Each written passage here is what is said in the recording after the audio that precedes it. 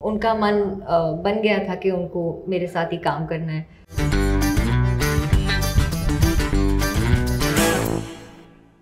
जब आपने डीडीएलजे में शाहरुख के साथ काम किया क्या डिफरेंस आपने नोटिस किया उनमें By DDLJ, Shahrukh Khan was Shahrukh Khan. He was like तक स्टार बन गए थे. star ever. But uh, he's such a warm, intelligent man. You know, वो उनका दिल कुछ और ही है। मतलब वो अंदर से नहीं बदले। आई थिंक स्टारडम ने उन्हें खोखला नहीं किया। हाँ. और वो उतने ही प्यार से बर्ताव करते थे उतने ही हेल्पफुली को एक्टर थे। बहुत ही हाँ. जेनरस को एक्टर हैं। अगर कभी टिप्स देना होता था सीन में ऐसे करो वैसे करो हमेशा हेल्प करते थे।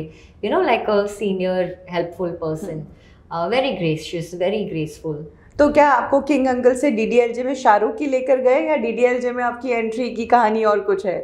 बिल्कुल ही मतलब I don't think Shahrukh had anything to do with that Yash Chopra ji के ऑफ़िस से फ़िल्म हम्म। क्राफ्ट के ऑफ़िस को फ़ोन गया था। जो, जो आपके आपको मैनेज करते थे। मैनेज कोई नहीं कर उन अच्छा। कुछ नहीं होता था। अच्छा। अगर किसी ने आपका काम देखा आपका काम पसंद आया तो हाँ। कहीं से आपका नंबर ढूंढ के आपसे बात ही कर लेते हम्म। थे। मैनेजर्स नहीं हुआ करते थे कुछ नहीं हुआ हम्म। करता था।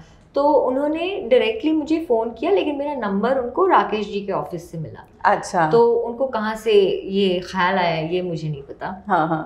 बट शायद किंग किंग अंकल देखकर उनको हाँ, लगा होगा कि और आपका ऑडिशन करवाया तो आपका अकेले का करवाया या काजोल के और पूरे परिवार के साथ करवाया था?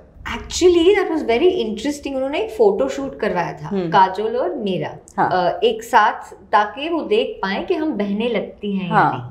तो वो फोटोशूट बहुत ही फन हम्म। रहा हम्म। वहाँ हमारी केमिस्ट्री अच्छी थी हम्म। तो शायद वही ऑडिशन था यू नो सीन वगैरह तो नहीं था हाँ। शायद उनका मन बन गया था कि उनको मेरे साथ ही काम करना है और you know so I don't really remember कि दस लोगों ने ऑडिशन किया दिल वाले के लिए। तो बस आपका ऑडिशन लिया और आपको इन्फॉर्म कर दिया गया कि you are selected for the role वो फ़ोटो शूट किया एंड आई सपोज़ दे उनको लगा होगा कि हाँ ये दोनों जचते हैं एक साथ। और फिर पैम जी हमको हम्म। मुझे सब कपड़े शॉप कराने के लिए ले चली to all these big designer stores you know because they had to show कि लंदन से फैमिली हाँ. तो और उनकी डिटेलिंग बाबा रे बाबा। अच्छा। सेट के ऊपर जो किताबें थी वो भी मतलब मुझे लगता है मेड इन लंदन होंगी। मतलब because like they had really gone into crazy detail तो जो आपका लंदन वाला घर था वो लंदन में नहीं, नहीं था, था। वो यहाँ था? हाँ, कहाँ बना था, था। फिल्मिस्तान या यहाँ या I think it was one of those या स्टूडियोज इन गोरेगांव अच्छा। या सबको लगा मैं मैं लंदन गई। बाहर जो गार्डन में काजोल डांस करती है वो सब सेट था पूछो मन से यहाँ पे मतलब लाइफ के। सबको लगा मैं लंदन गई। नहीं गई मैं लंदन देखो ना कोई ले चलो मुझे लंदन अभी। मतलब उसके बाद बहुत बहुत समय बहुत बार गई लेकिन uh, उसके शूटिंग के लिए नहीं गई। All the youngsters they only got to go and then have a lot of fun first day कौन सा सीन शूट किया गया था? For Dilwale. Hmm.